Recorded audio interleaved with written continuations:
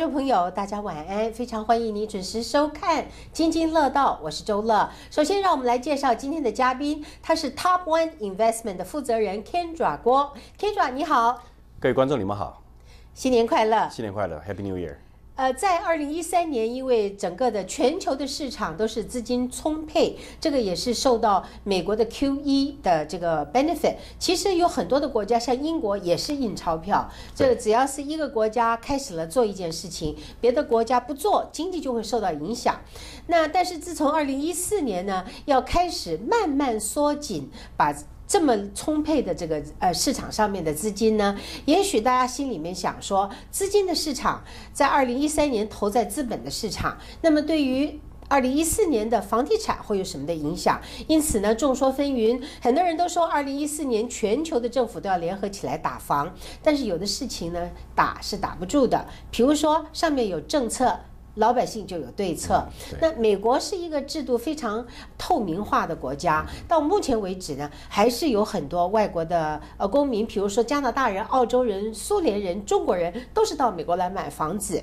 在这个时候呢，也不是每一个人都是用现金买，因为有很多 local 的 buyer，他们都是要贷款的，因此这个 loan 呃 pre-approved letter 就变得非常非常的重要了。那在这个时候呢，loan broker 的写一封信来给这个 buyer 准 buyer 来买房子，就变得格外的重要了。是是是是，所以我们现在先讲一讲哈，二零一四年来讲呢，就是说在今年来讲，我们所看到这个整整体这个趋势哈，呃，我个人比较倾向于认为，就是说在呃最近这一。这一段时间来讲，利息呢有一个比较大的程度这个上涨哈，它主要是反映出就是说大家对于呃联储局的这种加息的这种呃这个 pace 啊有一些不同的这个看法。联储局的方面的这个看法呢是讲的接近很明白了哈，就是说基本上在二零一五年之前年底之前呢不太可能有这个涨息，甚至会保持更久一点这个时间。包括失业率呢，哪怕降到六点五呢，也并不代表联储局要急着要加息哈。从这个角度来看来来来看呢，就联储局呢基本上是尽量去安抚这个。市场让大家知道这个加息这个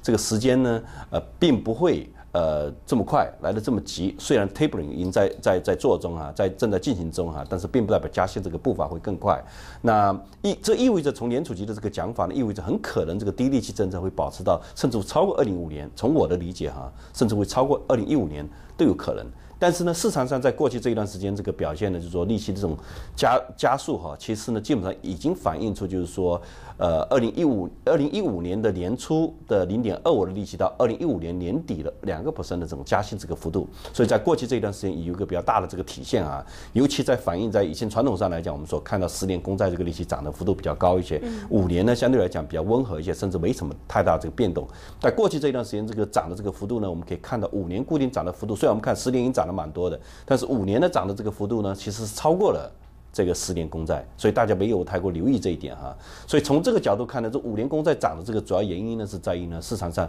普遍来讲哈，就是说呃一个一个比较大的 consensus 呢，就是说联储局会在二零一五年加息，就等于是今年我们要看到今年这个呃要在一二零一五年要加息的话呢，是意味着是什么呢？在今年这个经济呢要发展到一个火热的这个程度呢，让市场上觉得。呃，联储局没办法，一定要被逼要加息，不能不加了，不能不加了。在这种情况下呢，是呃，这个是充满一个乐观的这种情绪哈。但是我们也可以看到，股票市场也基本上反映出一个乐观的这个情绪。所以，呃，这一点呢。的疑问哈，是说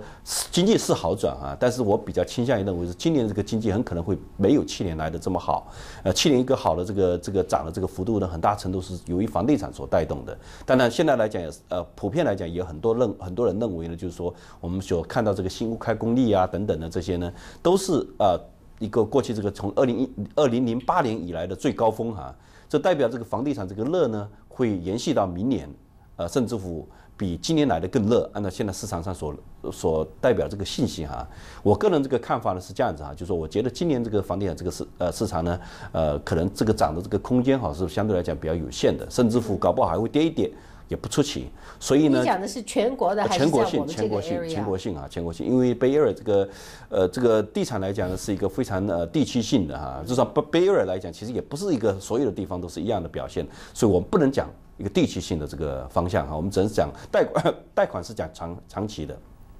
全国性的，因为美国的这个银行的贷款呢，它不是因为你的地区不不一样而给一个不同的 program 啊，给不同的这个利息，贷款是全全国性的这种贷款。对呀，那请天长来回答我那个问题。所以，准买方要去买房子的时候，找一个 loan broker，拿好 pre-approved 的 letter，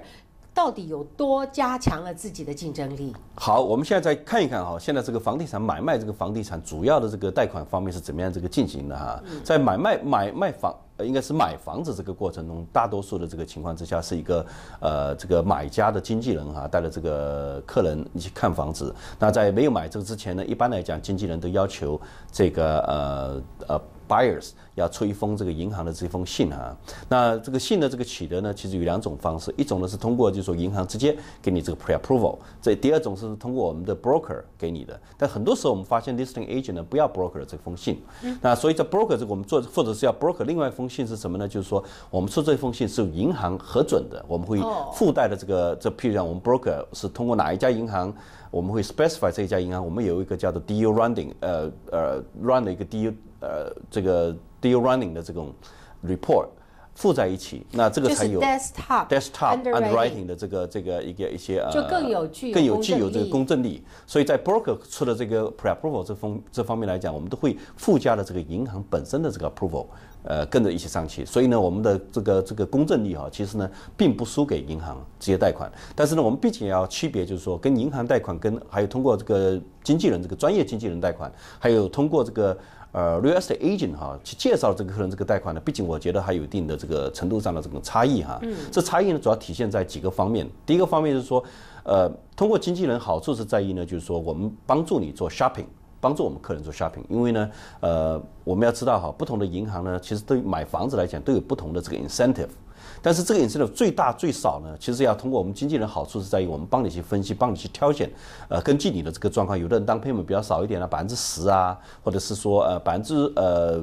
我们讲的现在很多人，有的人百分之十的这个贷款，百分之二十啊，甚至百分之三十、百分之三十五甚至百分之四十的投款，银行给出这个 incentive 都都是有一些不一样的，包括就是说以前我们讲的百分之八十。以上的这个贷款来讲，哈，一个贷款来讲，银很多时候我们的客人呢要求是要付这个 PMI，嗯这个 Private Mortgage Insurance，但我们发现现在可以不用付了，是百分之十的投款都可以不用交这个呃这个 Private Mortgage Insurance。那这方面，这个对对对，那对很多人来讲其实是一个帮助哈。当然这个反映在这个利息上面，这必须要加在这个利息利息上。但每一家银行加这个利息的这个幅度呢是不一样的，所以这这方面来讲呢，这个通过经纪人好处是说，我们帮你去挑选一个呃对。呃，买家最 friendly 的这个这个条款，然后呢，利息呢又是在最 competitive 这个 range 里面，这个方面的讲，我觉得经我们专业经纪人相对于银行独家银行来讲。有的好处是我们提供了一个挑选，提供一个一个一个帮你筛选的这个过程。是，那我从这一段呢中间就听到 Kendra 给我讲的重点就是，